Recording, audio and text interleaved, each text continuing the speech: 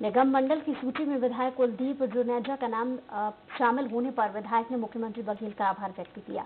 रायपुर में कुलदीप जुनेजा ने कहा है कि मुख्यमंत्री ने छोटे से कार्यकर्ता को बहुत बड़ी जवाबदारी दी है। मैं पूरी कोशिश करूँगा कि इस जवाबदारी को ईमानदारी से निभाऊं। मुख्यमंत्री की मंशा है कि प्रदेश में गरीब और मध्यम वर्ग की समस्याओं का निराकरण सबसे पहले हो। हाउसिंग बोर्ड के अधूरे प्रोजेक्ट पूरे करने की कोशिश करेंगे। हाँ, देखिए, बहुत बड़ी जवाबदारी मुख्यमंत्री जी ने दी है मुझे, एक छोटे से कार्यकर्ता को। तो मैं पूरी कोशिश करूँगा कि जवाबदारी को ईमानदारी से निभाऊं।